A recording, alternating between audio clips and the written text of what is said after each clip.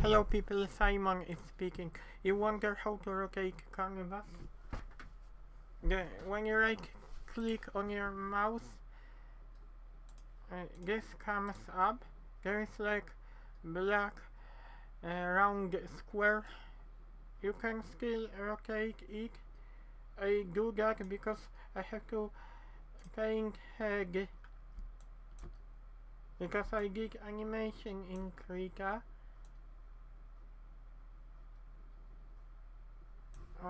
Head.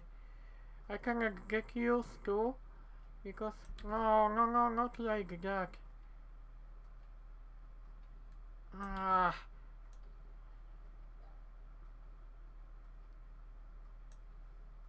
Okay, because I had to show you what you can do.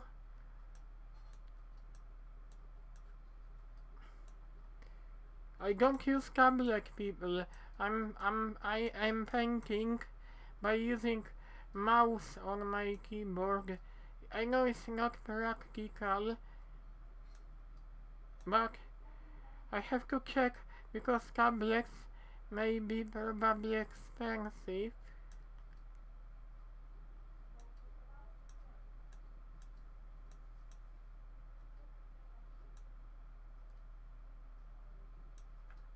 I, uh, when you paint, don't use big canvas because it may slow down eh, Krita.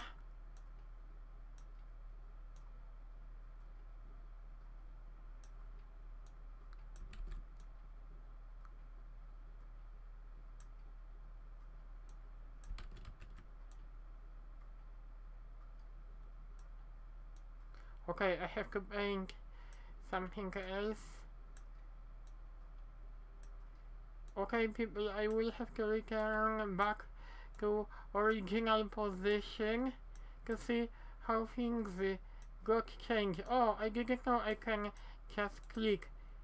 Because I was rotating canvas, but you just click on this and it automatically will put your image to X, to its original position.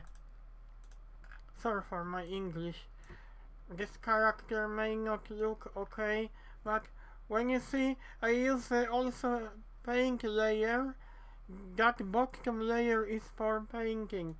I will show you my animation.